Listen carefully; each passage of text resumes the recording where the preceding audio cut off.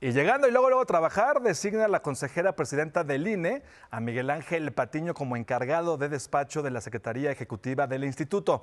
Sustituye así de forma temporal a Edmundo Jacobo Molina, quien renunció al cargo la semana pasada. ¿Se acuerdan de esta renuncia muy polémica? Los consejeros del INE deben lograr un acuerdo para nombrar a quien ocupe este cargo de forma definitiva y deberá contar con el aval de ocho de los once integrantes.